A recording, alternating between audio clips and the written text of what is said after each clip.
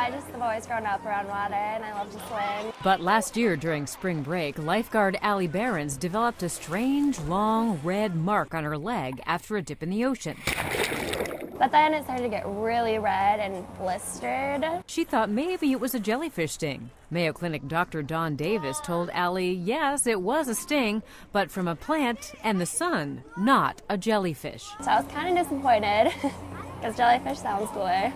There are certain plants and fruits in nature, such as dill, buttercup, bergamot, musk ambrette, parsley, parsnip, and citrus fruits, especially lime, that when these chemicals that they contain hit your skin and then it's exposed to ultraviolet light, a chemical reaction occurs. And you can either develop a dermatitis, which is called phytophotodermatitis, plant light induced eczema, or you can develop a phototoxic dermatitis, meaning plant sunburn dermatitis. Typical scenarios would be when you brush up against certain plants on a hike, or when you squeeze a lime into a drink. Maybe you get some juice on your hands, you touch your arm, and when the sun hits that spot, the dermatitis appears in the form of handprints or drips. A lot of people think that it's poison ivy uh, with the lines and the streaks, but it's indeed not. It's a phytophotodermatitis. Treatment includes topical ointment and staying out of the sun. It's right here on my leg. Allie says her reaction was a bit painful, but over time,